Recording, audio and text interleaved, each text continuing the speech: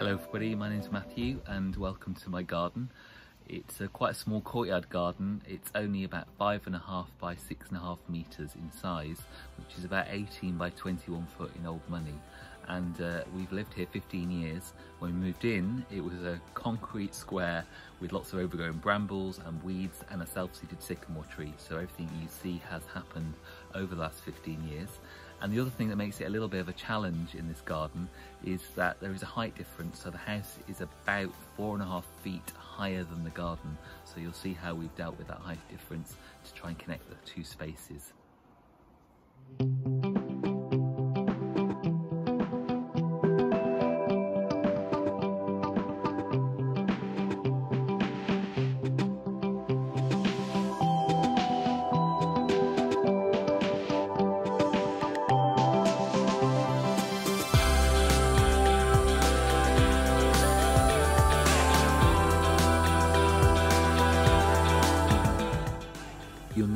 Green is a big feature. It's my favourite colour and I love the different shapes and textures of the plants. I love ferns in the garden and you can get them in all different shapes and sizes whether they're big long ones or smaller narrow ones. The wet winter we've had has meant they've been really lush this spring um, but whether you have a place that is dry or a place that's damp or a place that's shady or in sun, there is a fern that will fit in almost every location. And they're great in pots as well. Um, under my trees, I find that the soil there is really shallow and gritty and not great for planting things into. But what I've done is I've created a sort of microclimate uh, by putting lots of pots under the trees with ferns in and and they've thrived in that location and look really nice. Having a pond and water in the garden is lovely. The sound of it is really relaxing and it's essential if you want to attract wildlife. We've been really lucky to attract frogs into the garden and each spring they lay spawn which turn into tadpoles which turn into frogs which hopefully help keep the slugs and snails at bay a little bit.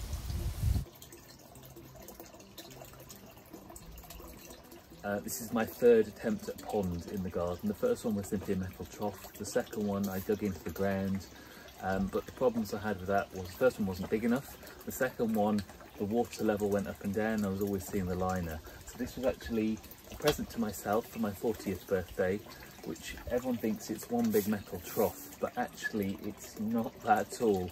Um, it's actually 50 centimetres deep, so it goes down about another 20 centimetres below the patio um, and it's a frame of marine ply uh, which inside have had a liner made that just fits in and overhangs that. And then this is a Corten steel um, metal frame that doesn't have a bottom that slides over the top and has a lip. So the lip hides the water if it goes up and down a little bit as it inevitably does if it's hot. Um, but it fills up again if it rains again and because it's 50 centimetres deep it means I can grow um, water lily in there which I something I always wanted to have. Uh, this is a little water lily called Nymph which will flower in August and has these beautiful little white small flowers.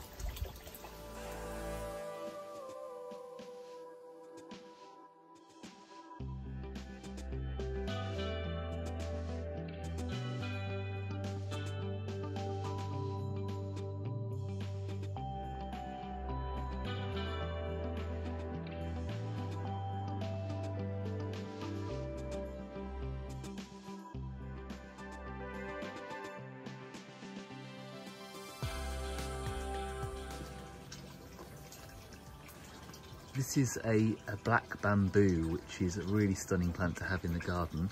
And it's been there for about 10 years and people often worry that bamboo will take over your garden. And some can be massive but this one's fairly clump forming. I give it a, a trim every year so i'll take out maybe 10 15 of the stems um, and I also strip all the leaves off the lower stems. So the young ones uh, stems are a light green and then as they get older they get darker and turn this wonderful black and taking the leaves off means you see the wonderful stems but of course at the top where the deck is uh, you get to hear the lovely rustling sound in, in the winter. Um, it hasn't taken over the house, it's not threatened the foundations so I would definitely recommend bamboo in a garden. It's just about choosing the right one for the right place. Well, I share my garden with lots of wildlife, but also share it with a little furry girl called Jojo and another furry boy called Zolly. So um, my plants, I do have to think about things that won't poison the dogs, but they're fairly respectful. They don't dig too many holes. They do like to chase birds, this one especially, but um, I think you've got to think about what's important for your garden and, and it's got to suit, you, suit you and your lifestyle. So um, sharing it with a dog is a great benefit um, and uh, she likes it too.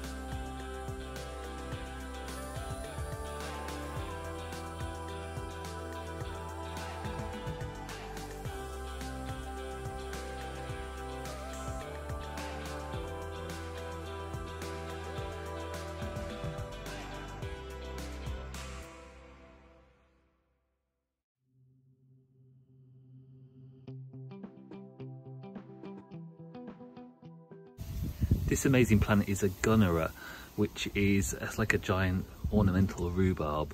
It's a, actually a prehistoric plant. I think it was around at the time of the dinosaurs. Um, and just goes to show you can grow some fantastic plants in a small garden. Uh, this obviously needs to live in a pond in a moist environment, but what I've done here is I've put it inside this rather large water butt, and as long as the water stays at least half full in there, so I never empty it completely, the gunnera is perfectly happy it produces these wonderful seed heads, which you can see just between the leaves. Um, it will die back in the winter, um, and I cover it just to make sure the frost doesn't get the leaves, but in the spring it comes back again and puts on this amazing show.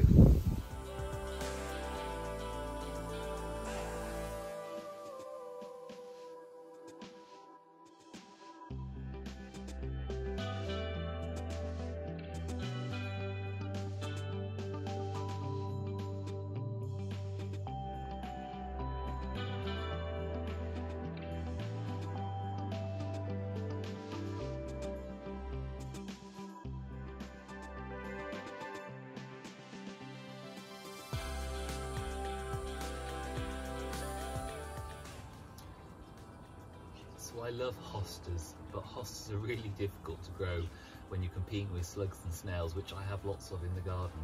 And I've tried lots of different things from sheep's wool pellets to gravel and coffee grinds. But the thing that I found works the best is if you take a bulb of garlic and you boil it up so it gets a really pungent liquid and you keep that in a jar and add a bit to a water spray bottle and fill it up with water. And then what you need to do you should take your spray and you spray it onto the leaves of the hostas. And uh, you just need to make sure you do it again if it rains. And as you can see I've got hardly a bite out of these hostas this year. They look really stunning. Um, I'm so pleased with them. It's definitely worth a try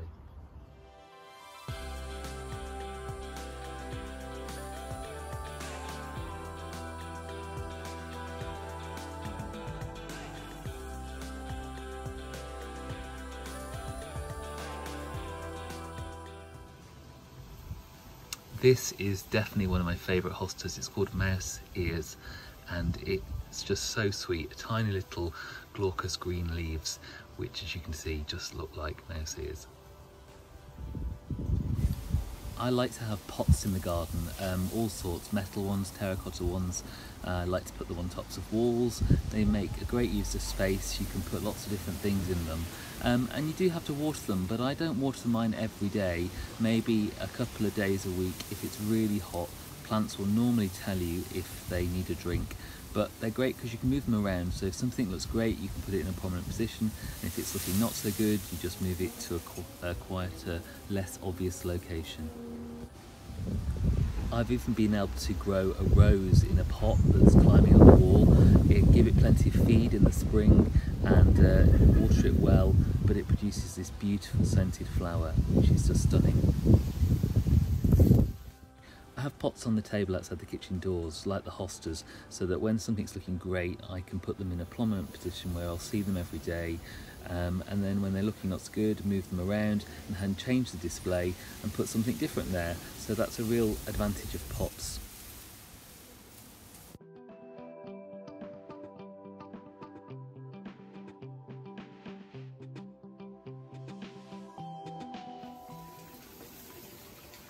When we moved into the garden, the space at the back of the by the wall had a self-seeded sycamore tree which was about to push the wall over. They're lovely trees but they're just not right in a small garden. So I dug that out and planted these three hornbeam trees which have been in now about 15 years because uh, I know that. They were my 30th birthday present from my friends. As you can see they form this amazing wall of green um, framing the garden. Hornbeam is really tough. It'll grow in wet ground, in dry ground, in really rubbish soil. And uh, it needs a trim once a year, like a hedge. So this will get trimmed around about June. I actually get someone in to do it now because I've decided I don't want to climb that high, but it keeps them at this height and uh, it just is such a lovely uh, leaf. It starts to come into leaf around April and will continue to be in leaf till around November when they start to go a lovely yellow colour and then they finally drop. But um, even then you've got this lovely frame and these lovely statuesque pillars of trunks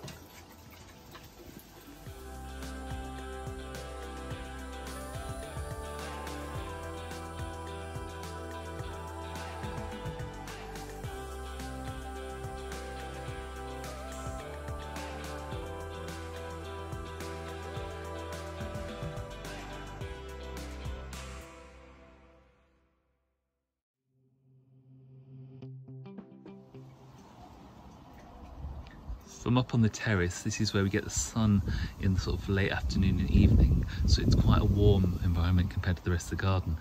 And But it's also quite exposed. You can see we get uh, the wind over the rooftops, which makes the trees rustle, which is lovely, but means that the plants have to be pretty hardy to be able to withstand a battering if it's really windy.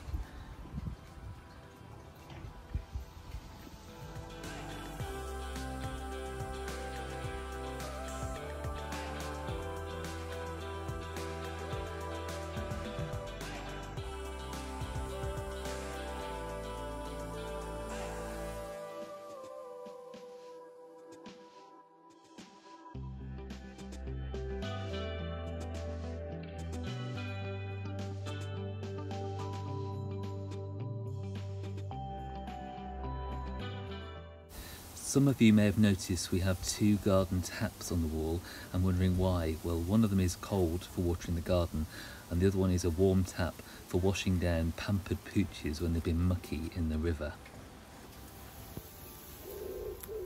Well, thank you for watching. I hope you've enjoyed visiting the garden virtually and I hope you'll be able to come back and visit again in 2021 for Bedminster Secret Gardens.